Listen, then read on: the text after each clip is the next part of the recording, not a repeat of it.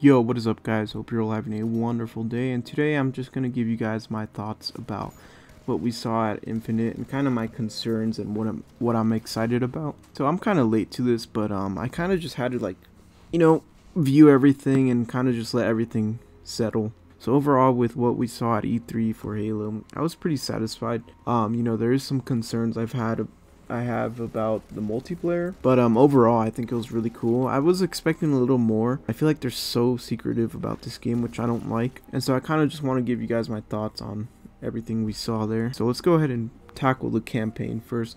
So we actually saw a small little teaser for the campaign. I was not expecting this at all. I thought it was going to be completely multiplayer stuff only. So this was actually pretty cool seeing that we got to see a little bit of the campaign stuff wasn't much, but you know, regardless, it was awesome that we got a tiny bit of campaign. And um, yeah, he basically they basically just showed off like a little cutscene, a, tiny bit of the world. Um, and from what we've seen, I like how they kind of showed the world a bit, and you could kind of see that it is definitely like more open worldish because you could kind of see that it seems like you can establish outpost or something because you could see like a green light and it seems like you gotta like capture it or something. Maybe it's like under Banished control and then once you capture it it turns green.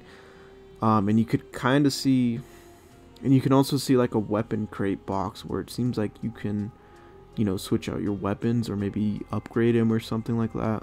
As well as like a vehicle pad thing that potentially maybe you can actually like spawn a vehicle of your choice and you know explore the world but yeah it's it seems really fun i think the gameplay is going to be super fun um, there's nothing really bad i could say about what i saw or rather critique about the halo infinite campaign teaser thing we got um, i just gotta say that it does definitely feel like more of a Halo game than what we've gotten before, like Halo 5 and 4. You know, the soundtrack is definitely slapping. It sounds like freaking sounds like Halo music, which is what I love about it. And you know, Chief's armor looks great. I mean, the whole art style of this game and the music is great. You know, the campaign actually seems interesting, um, and it does seem like it kind of does continue Halo 5 story.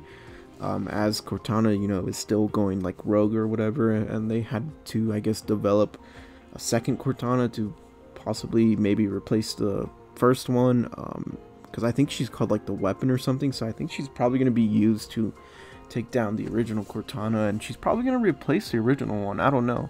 But um, overall with the campaign stuff, you know, everything was great. I can't really critique anything about it. I loved everything about it. And you know, I can't wait to get my hands on and just explore the world because it looks freaking fun.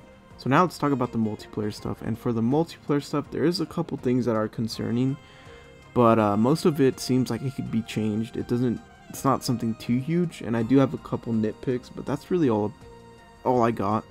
Um, overall, the Infinite multiplayer uh, trailer we got and the multiplayer overview video was awesome. Um, we got a lot of info out of them.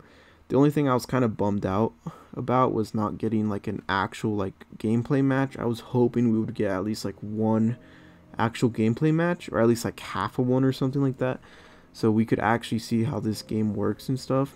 We did get like small bits of gameplay in the multiplayer overview, but um, that was really about it. So I guess I kind of want to start with my concerns. Um, one thing being is that when watching the multiplayer overview, the small little gameplay bits they showed, it seemed like there's no medals whenever you kill, get a kill or you know like a, like a double kill and all that stuff. It doesn't seem like the medals pop up anywhere. And that's a little concerning because I feel like, you know, the medals are a huge staple of Halo, and maybe it's just because it's pre release, which I'm hoping it is, that, like, it's just because of that, and they haven't been able to, like, maybe implement the medals or something. I don't know. Yeah, you know, I hope they don't get rid of the medals because the medals were, you know, it was such a cool feature of Halo, and so that was a little concerning, but I'm just gonna let it kind of slide because it seems like, you know, all this stuff they're showing is pre release, so um, I'm sure the final game probably has the medals and stuff. But telling by the gameplay, the game overall does look very fun. It does definitely feel like kind of a hybrid between classic and modern Halo. Um, you know, they still got sprint, which I feel like some people are going to be triggered about. but they did tone down the uh, advanced mobility, so it feels kind of like the middle ground, which is I which I think is why a lot of people are you know they're hyped about it because it's not super like like super advanced mobility like Halo 5 and it's not like super slow like original Halo. Um, you know, it's a nice middle ground, I feel like. And for me, I personally, I mean, I personally liked Halo 5's multiplayer, but you know, I liked classic Halo as well, so I'm fine with whichever route they really go because I like both of them.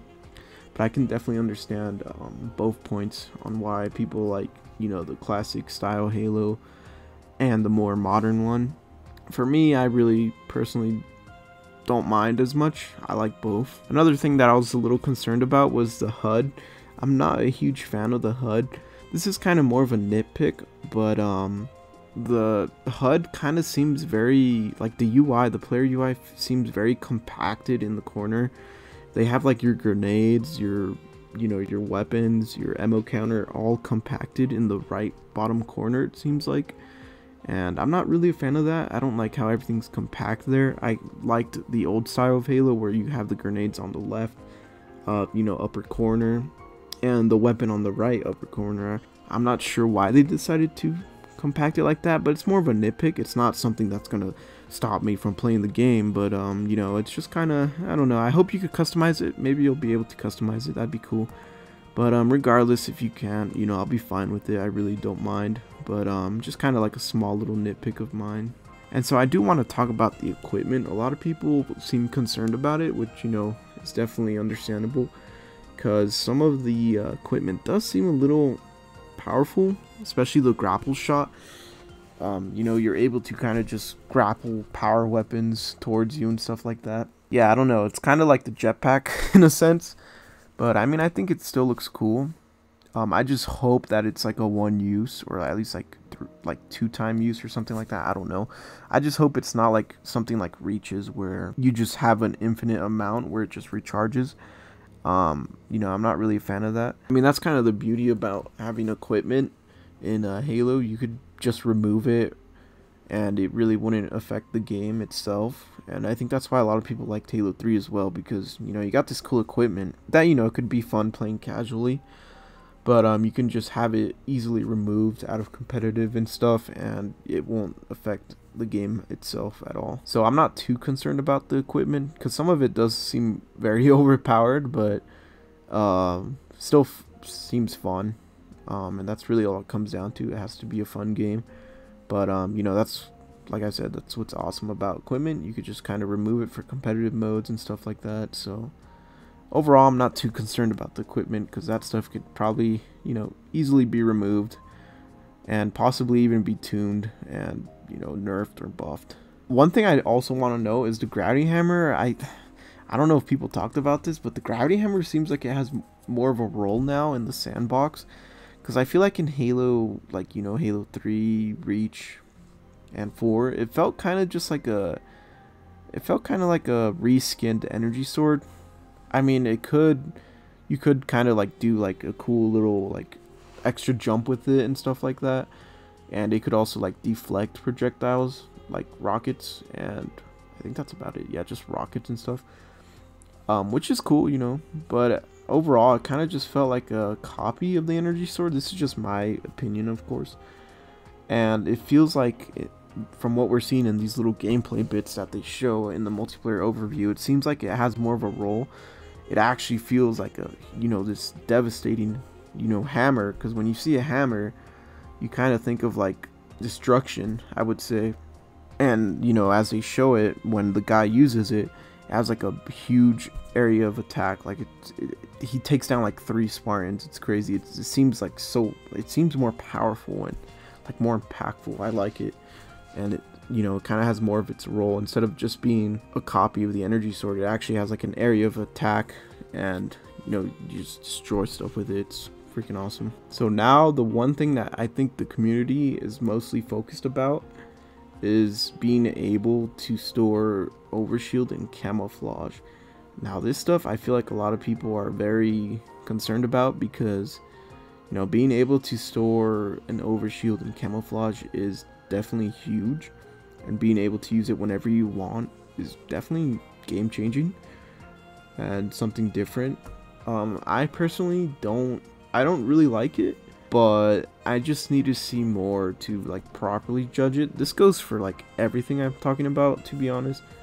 I just need to see like more gameplay of this to like properly judge it. But from what we're seeing, it is a little concerning because if someone gets an overshield, uh, an overshield, they can kind of just like, you know, if you're about to kill them, they could kind of hide behind something and just pop that overshield and kind of just turn like the tide of battle. And I don't really like that. That seems very annoying. It kind of seems like armor lock, you know, in a sense, I guess, where you know you're about to kill a player and then this freaking guy, you know, just locks his armor and you know you can't kill him anymore. I mean, it, it I don't know, kind of just feels like that where it's just annoying and it kind of just destroys the flow of gameplay in my opinion. But I will say that it seems like all the equipment is visual, so you can tell when someone has, you know, an overshield and everything pretty much. So I think that kind of counters it a little bit. Um, if you see, if you're chasing a guy and you're like about to kill him, you're gonna see that yellow trail and see that he has overshield, and so you're most likely gonna either like maybe try to chuck a grenade, try to kill him before he pops that pops that overshield, or just you know back off completely. So I feel like it kind of counters it, but um, I don't know. I gotta see more, see how it kind of plays out. So I don't know how I feel about it. I mean, it is a little concerning, but uh, overall, I'm just I'm just kind of waiting until we get like either the flights to test it out ourselves, or you know more gameplay and see how kind of like you know plays out. So I can't really say much about it. Um, but I can definitely understand the community's concern about it. So they also talked about, you know, being able to destroy the wheels on a Warthog and stuff, having destructible parts. I think that definitely does add more depth to the vehicles. Um, and it's awesome having that kind of stuff, being able to like pop the tires and stuff. And I feel like there's really nothing negative about that. That's just cool. I mean, come on, that's freaking awesome being able to like pop tires and just I mean that's cool. I don't see anything negative about that. If someone gets angry about that, I really don't understand why. That's that just adds more more depth to like vehicles and it just makes it so much better. And that way you could actually kind of counter vehicles a lot better because when I play freaking BTB and you have like one team who just controls all the vehicles, oh my god, it's so annoying because then you can't really counter it because you know they're just constantly spawn killing you with the vehicles and stuff like that so having like these weak points and destructible parts is really cool you know talking about that they also showed like the razorback you know being able to store um you know weapons and objectives and stuff. That's freaking awesome. I've always been a fan of this kind of stuff. Having like support vehicles like this is super awesome. I think that's why a lot of people love the falcon because the falcon you were able to like you know, transport people and stuff like that. And it was like a team-based vehicle where you had to work together, and having those kind of vehicles is really awesome. And the Razorback is kind of like in that style. Um, you know, it's used for transport, and you could transport, you know, weapons, players. It's really cool. I like those kind of vehicles. So I pretty much covered everything that they talked about in Halo Infinite. Um, they did show a lot of customization stuff, and overall, I mean, the customization looks great. Um, it's basically, I think it's probably the best customization we'll ever have. Um, and it has a lot of inspiration from Reach. You're able to customize like all parts. That's really good that they're going back to that. And you know, you could have like textures and stuff. It's really cool. Um, I like it. The only thing I didn't really like about it, or at least one thing I was really concerned about that was that, I mean, I, maybe this just just kind of me with my old style thinking, I guess you could say. I don't I don't know. But I've always been a fan of like playing games where you know you unlock stuff by playing the game and not just by purchasing it. Uh, maybe this, that's just me and kind of being stuck in the past because I feel like that's not really a thing anymore. I feel like cosmetics you just pay for them nowadays. You don't really, you know, earn armor and stuff like that in games nowadays. But um, you know, they actually talked about that and they said that a lot of the armors will be unlockable just by playing the game. And I believe he even says, like, only, like, some of them will only be, you know, unlockable by playing the game. And hearing that, you know, was such a relief for me because I was worried that since, you know, it was going free to play, you know, all the armor would just be paid, you know, you would just have to pay some money for it. And and I don't know, man. I mean, I, I like being able to unlock armor. So having some of them be, or I mean, he says a lot, which is cool. Having a lot of them be like, you know, earnable by playing the game was just such a relief for me. And I don't know. I think it's awesome how they have, you know, both paid cosmetics and earnable ones. I think that's absolutely awesome. And I'm, I am like, it's awesome. I'm satisfied with that. That's awesome. So, you know, overall, I am definitely excited for this game. A couple concerns about the, equipment, um, and a couple nitpicks, but I mean that's really all I got. I mean overall, I liked everything I saw. There was really nothing like super bad that makes me not want to play the game or stuff like that. I mean everything about it just looks fun, and I feel like a lot of people are kind of excited about it as well. People who haven't played Halo for such a long time so I think it's just awesome seeing this like excitement for this game and I feel like this will be the one that they actually nail this time. And you know, I just hope that they launch with you know, the core modes. I hope it's not super bare bones like Halo 5.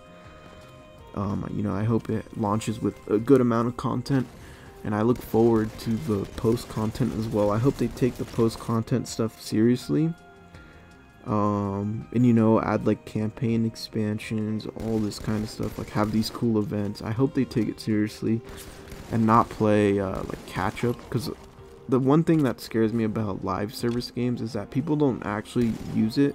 Like they don't actually treat it like a live service. When they say live service it's typically just them saying we're gonna release this game unfinished and fix it over time or finish it over time. And then eventually to start adding new content and that's kind of what scares me about live service games is that you know it's typically like that for a lot of games but um I I hope Halo Infinite isn't like that. And regardless if it is um you know the gameplay and everything I've seen looks solid um but I just hope that I hope this is the one and I'm excited again um for Halo. Definitely a lot better than what we've seen of Halo 5 and everything and you know I'm excited. There's not much else I can say. But yeah with that being said let me know what you guys think. Are you guys excited for the new Halo game? I sure am. Um, and I can't wait to get like actual gameplay footage or maybe even flights soon. I mean I feel like they're gonna start next month I think July. So they've been really pushing the Halo Insider stuff recently. So yeah you guys consider subscribing liking the video show your support. Um, thank you guys for watching. I'll see you guys on the next one. Peace.